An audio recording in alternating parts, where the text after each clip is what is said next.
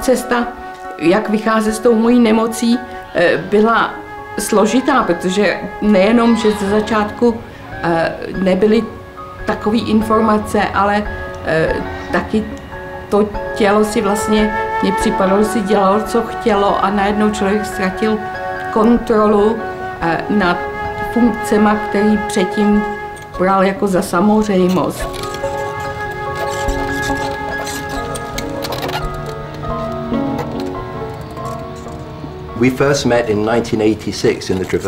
My jsme se poprvé setkali v roce 1986 v Edinburgu.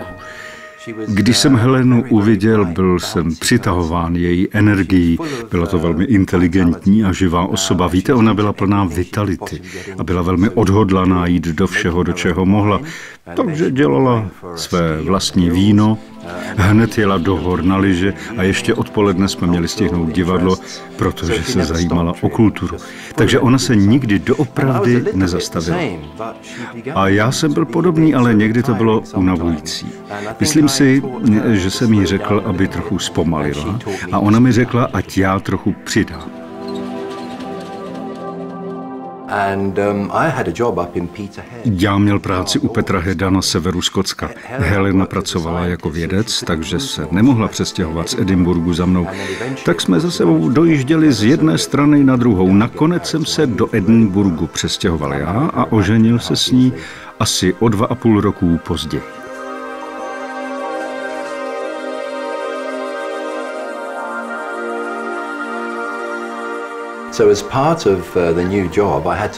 V mé nové práci jsem měl na starost volný čas žáků. Napadlo mě, že bychom z toho mohli udělat velkou dovolenou takovou expedici. A Helena by jela se mnou. Ona byla velmi nadšená. Takže po krátké době moje škola, Fentis College v Edinburgu, souhlasila, že ji můžeme vzít na expedici do místa zvaného Zanskar, což je na hranicích Tibetu v severní Indii. Byla to naše první velká expedice. Abychom se do toho údolí dostali, museli jsme vylézt až do výše 6096 metrů. Nebyla tam žádná kola, žádná auta, žádné prostředky. Takže jsme museli mít koně, osly a nosiče. Já jsem vlastně odešla v roce 1968, kdy jsem byla ve Skotsku a při ruské invazi Čech a Československa v tu dobu, tak moji hostitelé řekli okamžitě nesmíš jet zpátky, to je nebezpečný. A, a zařídili mi pobyt ve Skotsku a vlastně jsem se dostala na Edinburghskou univerzitu na studie, což byla neuvěřitelná příležitost, který jsem využila. Mě dali práci a já jsem pracovala jako výzkumný asistent a přitom na poloviční úvazek jsem dělala, dělala doktorát. To bylo o chorobách autoimunity, když napadneš vlastně sám sebe. A já jsem ten doktorát v tom napsala a teď vlastně tu nemoc taky mám, která, na kterou se to tělo obrátí proti sobě.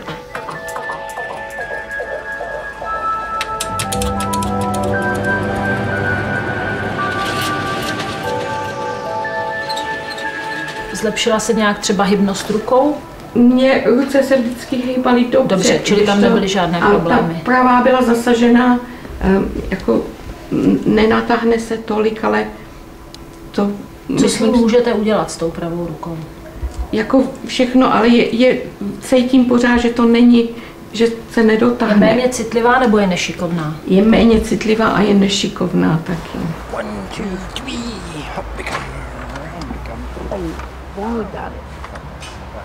In, uh, 1993, Helena... V roce 1993 měla Helena menší problémy se zrakem a začala přemýšlet o tom, jestli v budoucnosti nehrozí slepota nebo něco podobného. Nakonec se jí zhoršila i rovnováha, takže měla problémy se stabilitou. Potíže v ní vyvolávaly obavy, že se může jednat o něco vážnějšího a rozhodla se navštívit lékaře. Praktický doktor raději Helenu poslal k odbornému vyšetření do místní nemocnice. Komplexní vyšetření nakonec díky magnetické rezonanci rozhodlo, že diagnóza bude roztroušená skleróza.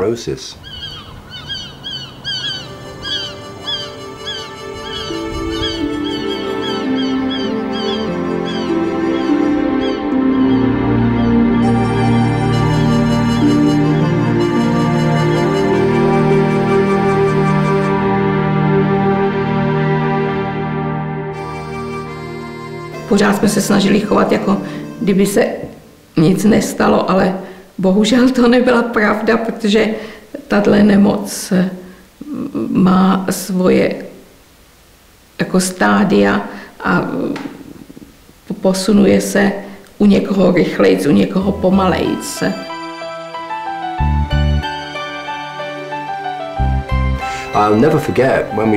Nikdy nezapomenu, když jsme jednou jeli do Rakouska na lyže. Helena se v tu dobu stále snažila překonávat a sjížděla na lyžích svahy. Druhý den jsme udělali několik okruhů na lyžích a najednou z ničeho nic na poměrně jednoduchém svahu se jí podlomily nohy. Ten výraz překvapení v její tváři, když se to stalo, ona to prostě nečekala.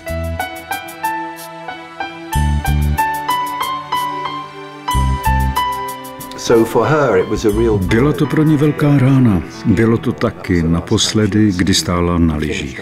Dokončili jsme naši dovolenou s tím, že jsme dělali jiné věci. At one point,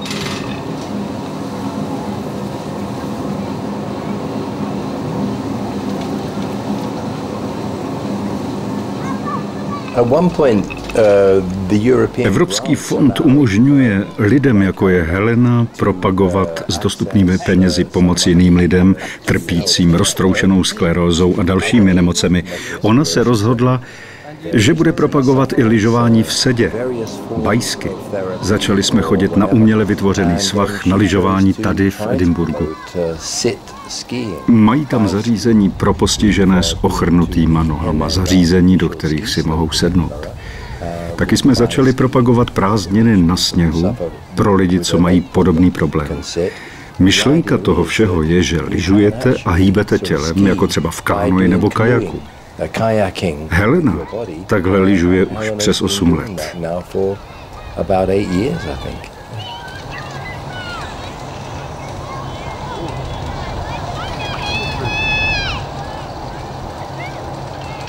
Řekněte mi, jak prožíváte svůj den, co všechno jste schopná udělat sama bez pomoci. Bez pomoci, um, jako já potřebuji pomoc vlastně ze vším. Já, my, i když jdeme plavat, tak Samozřejmě. znamená, že se mnou někdo musí jít. Um, bez pomoci můžu pracovat na počítači, psát a, a telefonovat a, a bavit se s lidma.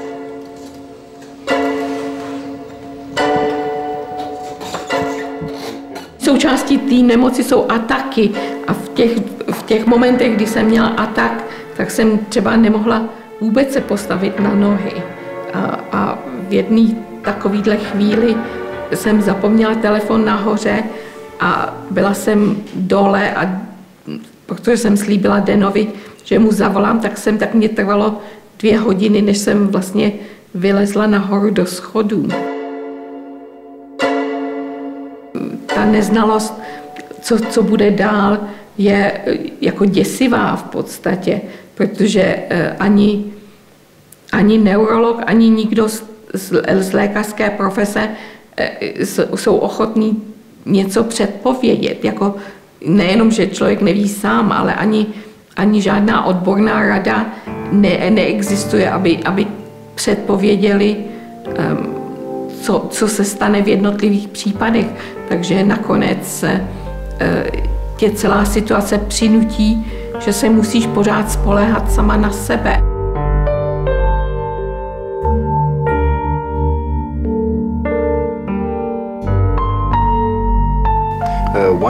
Jedna z prvních věcí, které se staly, když začala mít problémy s nohama, bylo, že bude muset provádět takzvanou nábytkovou chůzi. To znamená, že bude muset chodit doma po bytě a přidržovat se různého nábytku a tak dále. A po nějaké té době pak už bude muset chodit i o berlí. Věřila, že to bude trvat dlouho a byla rozhodnuta chodit, dokud bude moci.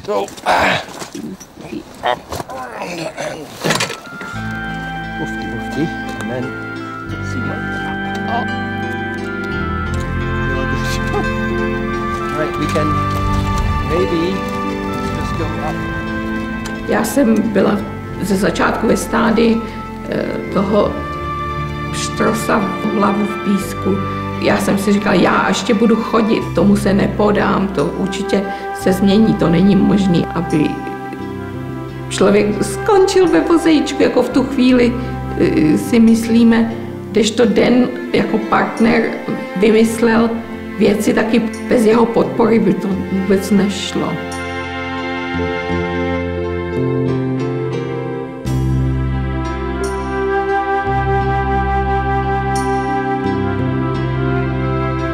Uh,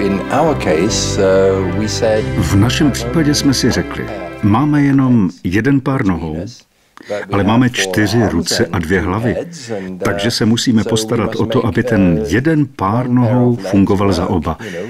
Tak to můžete změnit to, co byste jinak nezvládli.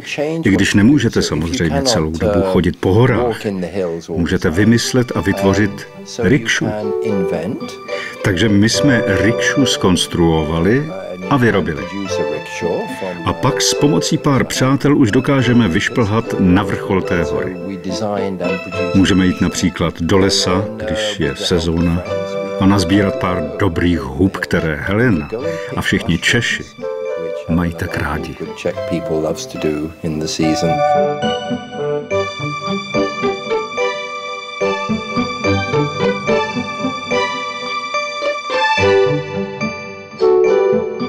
Tu dobu skotský neurologové nedělali nic, jako nepodávali ani interferon, ani ani... Přestože v Evropě vlastně byl interferon od roku 95. 5, přesně tak. A to byla doba, kdy jste e, vlastně chodila ještě jenom o jedné holi, mm-hmm. čili možná v té době by to ještě nějaký efekt mohlo mít.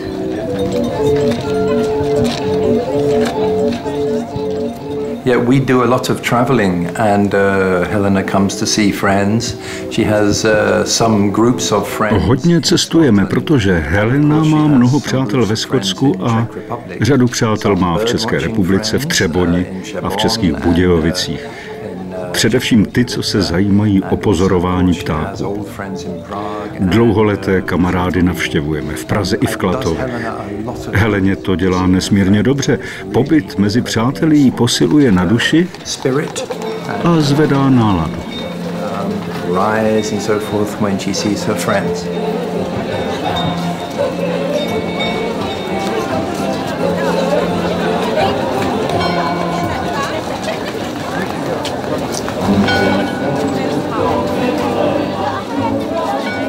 Od té doby, eh, kdy vlastně jsem měla zákaz jet zpátky do Československa, tak jsem vždycky měla touhu eh, jako jet do Čech. To už je přes 40 let a ta znalost, je to znalost eh, a umění mluvit česky nebo teda se tady pohybovat je tak neuvěřitelný, že to táhne na věky.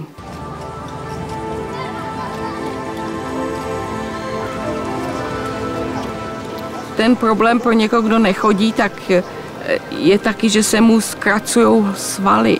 Eh, a jako když pak, přestože nemůže chodit, ale i když se snaží lehnout nebo eh, se dá do jiné pozice, tak se může stát, že některý lidi úplně zůstanou jako zatočený, protože už ty svaly nemůžou natáhnout. Poprvé, co jsem slyšela o rehabilitaci, to nebylo od skotských neurologů, ale od pana Hese, kterýho jsem potkala v Třeboni, který eh, původně pracoval ve Vráždi, ve Vráži a on mě řekl, proč nejdete tam, paní, protože tam jako se věnují pohybu po nehodách nebo pohybu po roztroušený skleróze a tak dále, jako proč to neskusíte.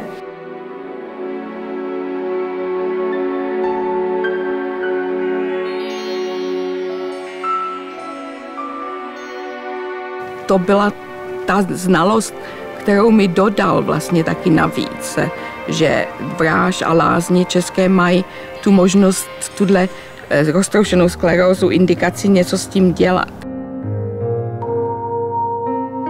Cvičení v bazénu byla novinka, protože eh, jsem předtím nikdy neviděl bazény, které měly madla kolem celého okruhu a vlastně tu příležitost se tam člověk mohl přidržet.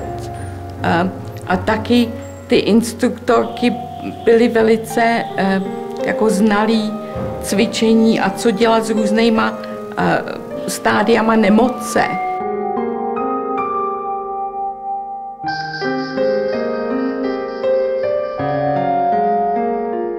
Nejlepší by bylo si nějak zařídit eh, lázně celý rok, protože eh, když jsem přijela zpátky, tak vydrželo to asi pět nebo šest týdnů to zlepšení, ale pak to zmizelo. Eh, takže ten vzkaz aspoň pro mě byl ten, že lázněviček potřeboval, anebo ten klid by potřeboval pořád. Čili se vám tou rehabilitací podařilo udržet ten stav takový, jaký je? A... Jako jedině můžu říct, že už neudělám krok, jako ten, to jsem ještě vlastně udělala. Jste říkala, že občas v noci. Občas v noci. Dva až tři kroky. Dva až tři kroky, ale to už jako občas v noci ne, neudělám. Elbow up, shoulder down, fingers to ceiling and push and stretch. Ty cviky teďka v tomto stádiu, co je vlastně Helena, tak se hlavně zaměřujeme na udržení rozsahu pohybu všech kloubů a, a posilujeme horní končetiny, aby tam byla víc ta aktivace a snažíme se skontaktovat vlastně mozek s ostatníma částmi těla. Yeah. Yeah, but your body, yeah. Try hold position body and back. Rehabilitace, každodenní péče od toho pacienta, každodenní cvičení jistě prospívá tomu pacientovi. Jak eh, fyzicky, tak i psychicky pomáhá.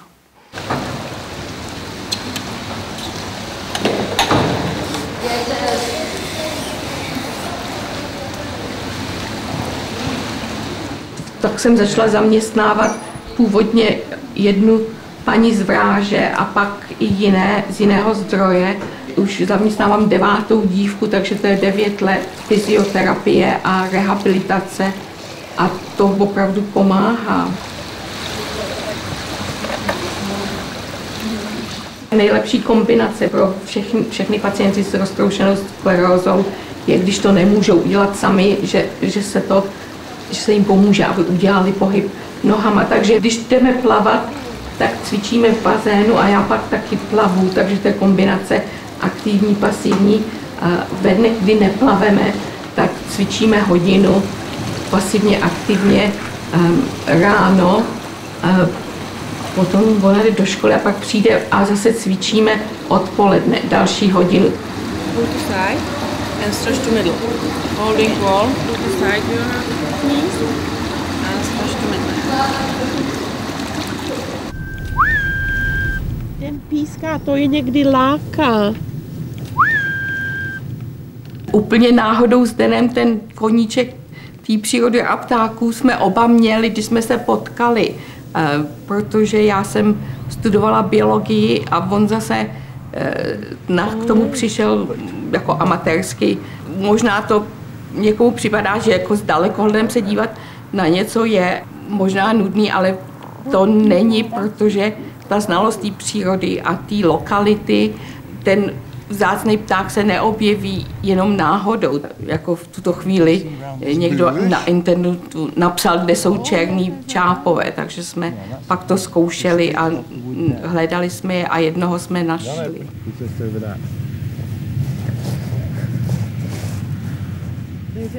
Máme s Helenou společného koníčka. Chodíme kousek odtud pozorovat husy, labutě, racky a pořizujeme si tam i pár hezkých fotek.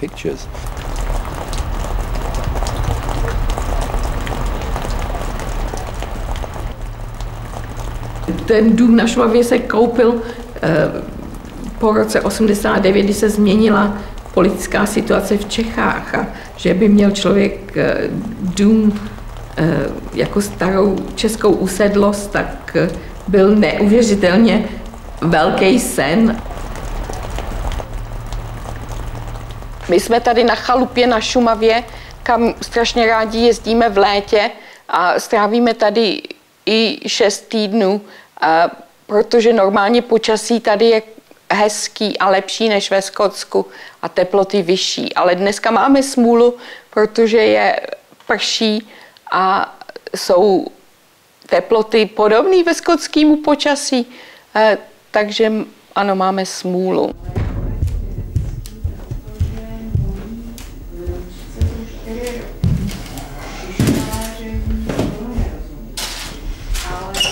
Ze zahrady, nebo jsou to pěstovaný růže. Je zajímavý se setkat se svýma přátelema po tolika letech a je zajímavý taky, že ty nejlepší přátelé po tolika letech, jako kdyby tam nebyla žádná mezera, to jako vůbec není uh, jako rozdílný, ale co se týče přátel, tak 10-20 let nevadilo, nevadí. Jsou překrásný, to jsou svatební koláče. Je to teda neuvěřitelné, že je to vlastně dneska 20 let, co Helena onemocněla. Neumí si to představit, ale mám proto jenom obdiv pro ten způsob, jak s tím dokáže bojovat, jak vlastně se chová, jako by bylo všechno v pořádku, že člověk na to kolikrát úplně zapomene, že vlastně ten problém má. Den eh, je úplně fantastický, jak Helence pomáhá, jak se o ní stará a jak to všechno zvládá s klidem, s rozvahou a úplně normálně, jako kdyby to byl život takový, jaký mají všichni ostatní. Jako nevidí, když se furt, tak všichni to berou jako normální. No, já se omlouvám, bylo to spontánní. Já vím, že eh, když si Helenu bral, tak sliboval, že eh, spolu vydržej v dobrém i v zlém, eh, v nemoci i ve zdraví, ve štěstí i v neštěstí, ale to, že eh, on skutečně vytrvá i eh, za situace, kdy není všechno úplně růžový, to je úžasný. A jestli jsou všichni skotové takový, tak buďme všichni skotové. Ta choroba vede ke ztrátě nervových vláken. A samozřejmě, že v současné době probíhá velmi intenzivní výzkum, nejenom kvůli roztroušené skleroze, spousta chorob, kde mizí nervová vlákna, hlavně jsou to úrazy. A samozřejmě bychom byli rádi, kdybychom měli léky, které do, umí donutit nervový systém, aby tam narostla nová vlákna a převzala funkci těch ztracených. Čili Eh, ten výzkum probíhá, ale eh, že by vy jste z něj mohla profitovat třeba v příštím roce, to je velmi málo pravděpodobné. Hmm. Takže samozřejmě se můžou odehrát zázraky, ale hmm. většinou se takhle rychle v té vědě neodehrávají. Ne, nevede, ano, ano, ano.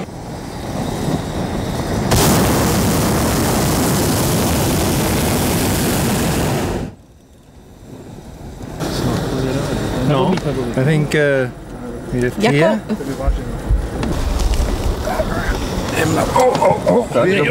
než jsem vlezla do koše, tak jsem si představovala všecko možný. Hlavně jsem neměla strach, ale takový obavy, že, že to nepoletí, nebo že přistaneme někde, eh, kde, se, kde ho tam tady nevylezu a tak podobně, protože eh, ta, to spojení toho vozejíčku a koše bylo pro mě rozhodně první, takže jo, měla jsem trochu strach, ale pak, když už se to vzneslo, tak už eh, to všecko zmizelo.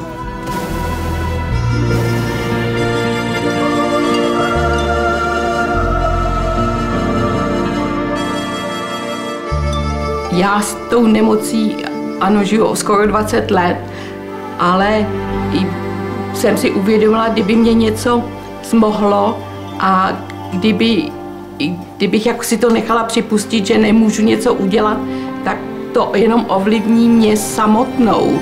Nikdo jiný mi pak nepomůže, že je mnohem lepší mít pozitivní přístup k tomu a vlastně se snažit udělat to, co je možný. A já mám pocit, když, se, když je pozitivní přístup k věci a dělá se, co se může, tak ta nemoc se zpomalí a dá se na ní částečně zapomenout.